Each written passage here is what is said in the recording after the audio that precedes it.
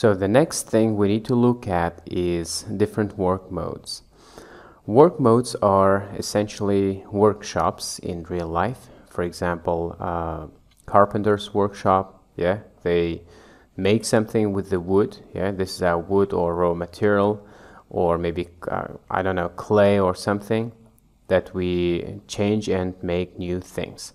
But we do that in different workshops. For example, if you want to make some object, some uh, product, yeah, you take the raw material and you bring it to the uh, modeler's workshop or carpenter's workshop, and you model it, you uh, you carve it, you extrude it, and you make something, right? And then you take it to the next workshop. It's maybe painter's workshop. They paint on it and uh, they change something, and then you move to another workshop where they add something to it, and uh, until you bring the product to the finished end, you will be using, you will be uh, working in different workshops. Yeah, in real life, maybe it's kind of real life alternative, right?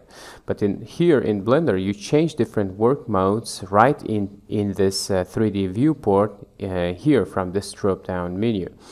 Uh, currently, we're in object mode, and you press on it, click on it, and you have different work modes uh, different modes. Uh, for example, the edit mode. Edit mode is uh, where we you, uh, where we work uh, most often. It's modeling workspace workshop.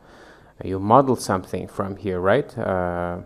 you extrude, and maybe you extrude these parts, or let's uh, extrude it like this and you create some doors or anything. This is your uh, modeling workspace yeah? Uh, here you make different things. I, I, went out of it. So you have different uh, instruments here. Edit mode is where you model your things. And the next mode is sculpt mode where you can sculpt yeah, where you can do make some statues, right? For example, like this, you can add some, I don't know, maybe eyes, some uh, horn or different things because you have a lot of uh, a lot of instruments here, right? This is sculpt mode. You have uh, more than enough instruments to create any sculpture. Next one is the vertex paint mode. It is painting vertices. It it sometimes helps with materials, with uh, creating vertex groups and different things with textures and stuff. And you have a weight painting.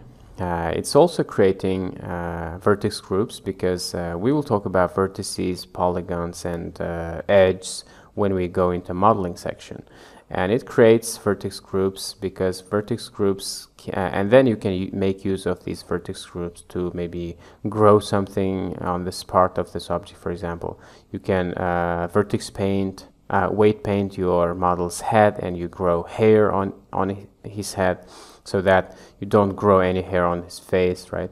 The next uh, mode is uh, texture paint mode. It's really uh, useful and you paint textures directly on this 3D model. It's so cool, it's so creative, uh, and you can create any texture you want and you can make use of your creative abilities here, right?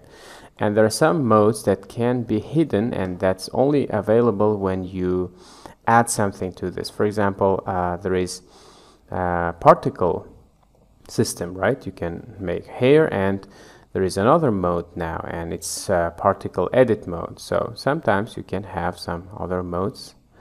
Let's remove this particle. Uh, yeah these are different modes work modes. Uh, but remember you uh, the different work modes depends on uh, the object that you have selected right? If you select camera it doesn't show any other modes because uh, Blender knows that you are not going to sculpt or maybe you don't you are not going to paint the camera because the camera is just for rendering stuff right you it knows that you're going to scale or rotate anything so uh, or if you choose light it doesn't show any modes. So it depends on the mo uh, on the object that you selected. If you select mesh, you have other. So apart from having lots and lots of editors for different purposes, Blender has work modes, uh, workshops where you can uh, create your finished product.